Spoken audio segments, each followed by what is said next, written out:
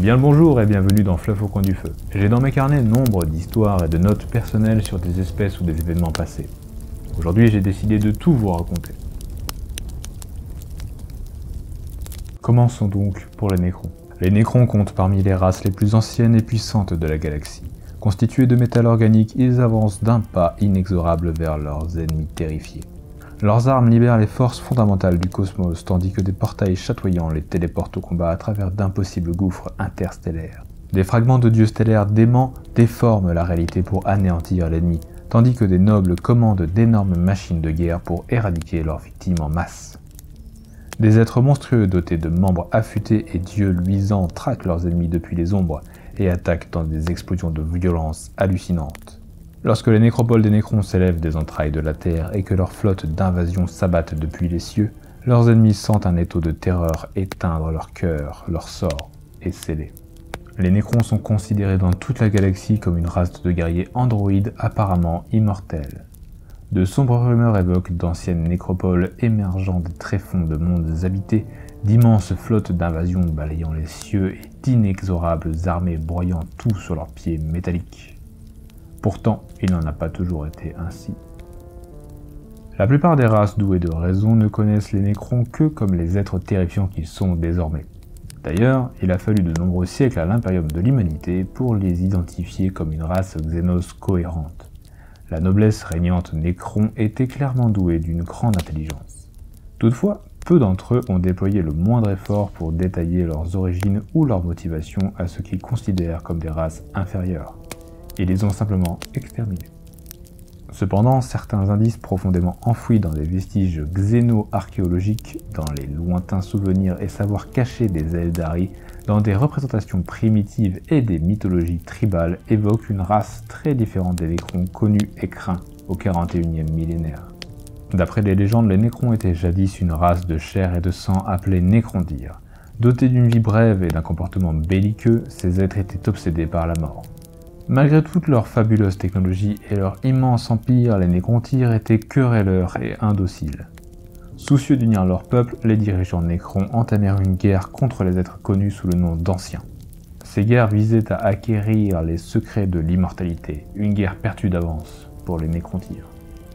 S'il subsiste des détails pertinents de cette guerre céleste, ce n'est que dans les souvenirs de Nécrons.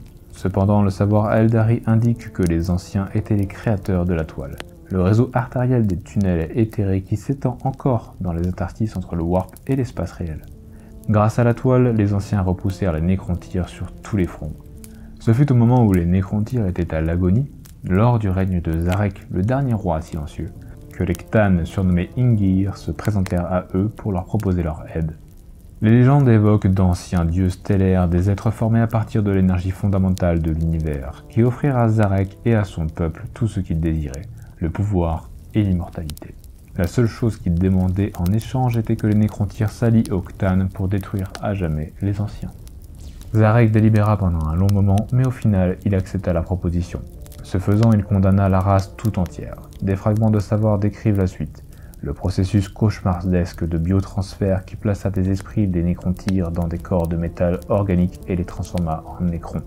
Le prix à payer était leur âme, dévorée par les Ktan, et hormis pour les classes dirigeantes, l'éradication de tout libre arbitre.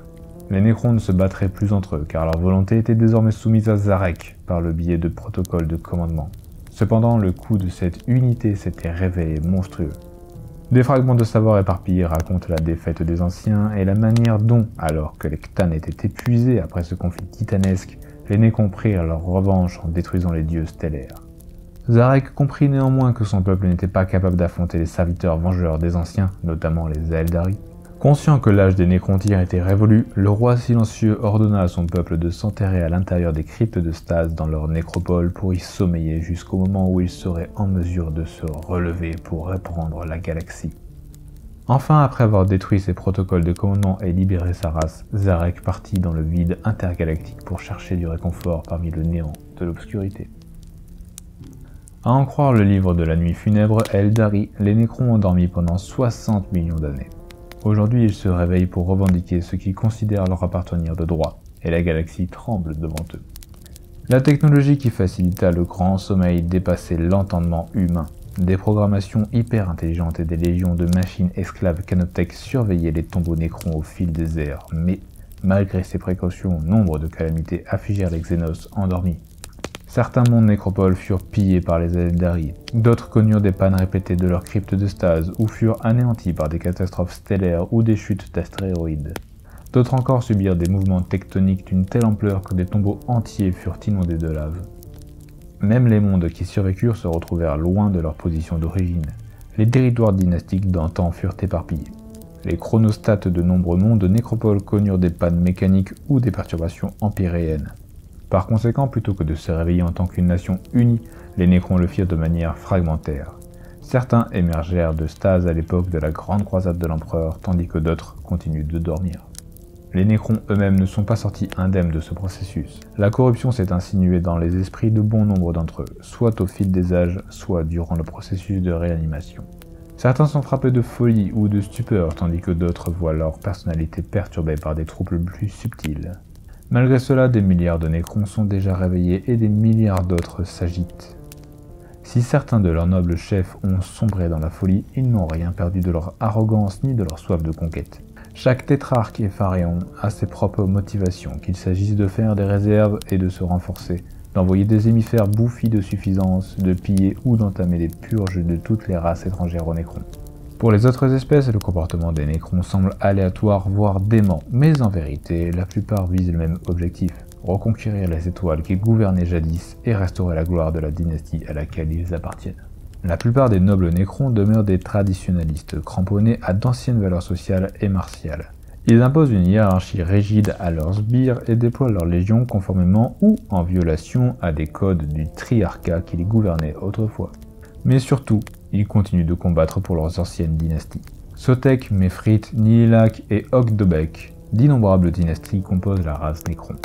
Toutes sont censées être soumises au roi silencieux, mais en réalité, bon nombre d'entre elles se considèrent supérieures à leurs rivales, de la même manière dont les nobles Nécrons se considèrent supérieurs aux autres races.